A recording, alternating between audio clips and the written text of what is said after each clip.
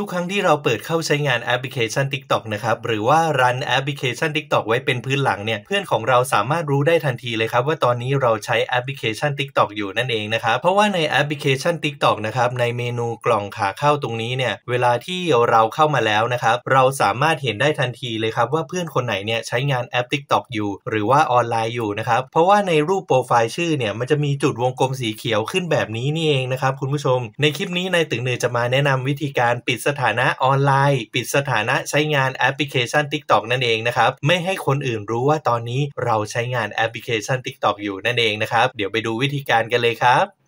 และวิธีการตั้งค่าไม่ให้คนอื่นรู้นะครับว่าเราออนไลน์อยู่ในแอป TikTok กำลังใช้แอป TikTok อยู่ก็ง่ายมากๆครับ อันดับแรกนะครับให้เราเข้าไปที่แอปพลิเคชัน TikTok ของเรานะครับ หลังจากเข้ามาในแอปพลิเคชัน TikTok แล้วนะครับ จากนั้นให้เราไปที่เมนูโปรไฟล์ของเรานั่นเองนะครับ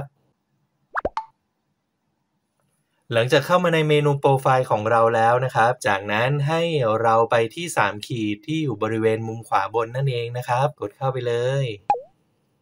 พอกดเข้ามาที่เมนู 3 ขีดแล้วนะครับ มันจะมีเมนู pop-up ขึ้นมาด้านล่างนะครับ ให้เราเลือกเมนูการตั้งค่าและความเป็นส่วนตัวนะครับ จากนั้นเราก็จะอยู่ในเมนูการตั้งค่าของแอปพลิเคชัน TikTok นะครับ แล้วให้เราไปต่อที่เมนูความเป็นส่วนตัวนะครับ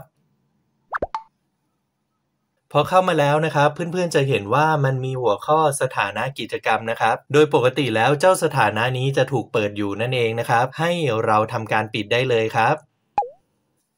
เพียงเท่านี้ก็เสร็จเรียบร้อยแล้วครับ ต่อไปนี้เวลาที่เราเข้าใช้งานแอปพลิเคชัน TikTok นะครับ คนที่ติดตามเราหรือว่าเพื่อนของเราในแอปพลิเคชัน TikTok เนี่ยจะไม่รู้นะครับว่าเราออนไลน์ใช้งานแอปพลิเคชัน TikTok อยู่นั่นเองนะครับ เพราะเชื่อว่ามีเพื่อนๆบางท่านที่ใช้งานแอปพลิเคชัน TikTok ที่รู้สึกรำคาญนะครับ เวลาที่เราเข้าใช้งานแอป TikTok ปุ๊บมีคนทักแชทมาทันทีนั่นเองนะครับ และนี่ก็เป็นวิธีการง่ายๆในการปิดสถานะไม่ให้ใครรู้นั่นเอง หวังว่าจะมีประโยชน์กับเพื่อนๆทุกท่านนะครับ สุดท้ายนี้เพื่อเป็นกำลังใจให้นายตึงเนิดฝากกดถูกใจกดแชร์คลิปนี้กันด้วยนะครับ และถ้าใครยังไม่ได้กดติดตามฝากกดติดตามทุกช่องทางที่ได้รับชมนายตึงเนิดด้วยนะครับ แล้วพบกันใหม่คลิปหน้าครับสำหรับวันนี้ลากันไปก่อนบ๊ายบายครับ